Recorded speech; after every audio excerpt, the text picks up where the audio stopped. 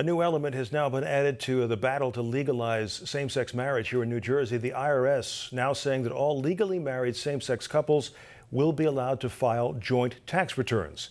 Joining us now is the Executive Director of Garden State Equality, Troy Stevenson. We welcome you back to the program. Did this surprise you? Uh, no, actually, it didn't. Um, it, it, was an expected decision, and it's a great decision for couples that are married in 13 states in the District of Columbia. But not for those in New Jersey, exactly. married elsewhere.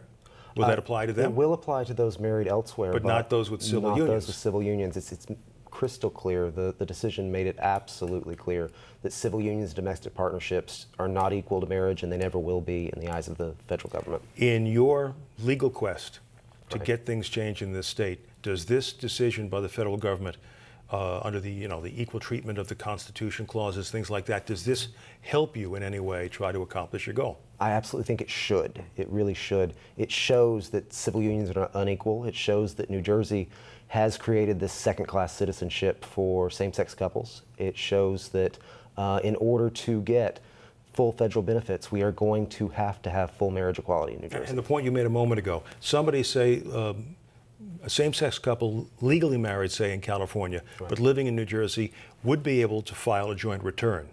Right, but, but they would have to file a, a, separate return for the state of New Jersey. Yeah, right. exactly. So there is, so it, it creates a complication to the same point. But you, you think this does accelerate I think it should help. It okay. should help a lot because it, it, clearly states in the decision that civil unions are not equal. I want to talk to you about the uh, U.S. Senate race here. You've had some uh, very strong remarks to talk, say about uh, the Republican candidate Steve Lonegan and his comments about uh, what Cory Booker has had to say right. when it comes to sexual orientation. Right. Uh, we had Mr. Lonegan on the program yesterday. He insists he's not homophobic. He insists he's not anti-gay.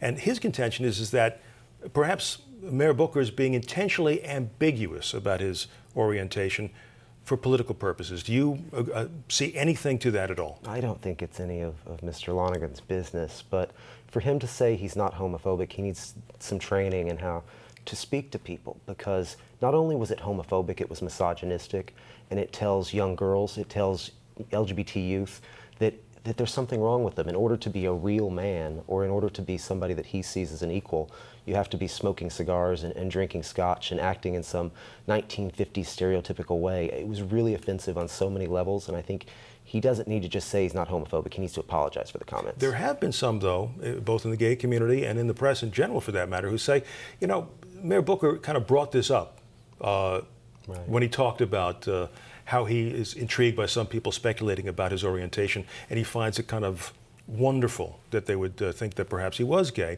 Uh, would you would you like to see him come out or not come out one way or the other? Do you think that's important for him, both as a candidate, uh, as a mayor, as an individual?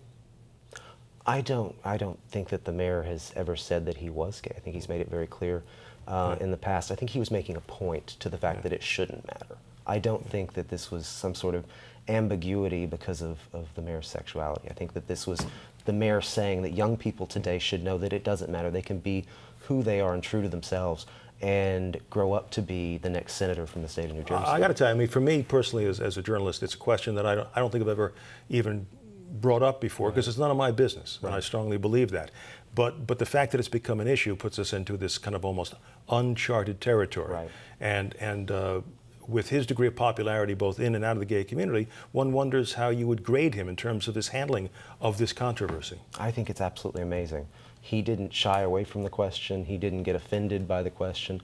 So often in the past, people have, when asked about if they were gay, um, they have taken offense. They have acted like there was something shameful about that question.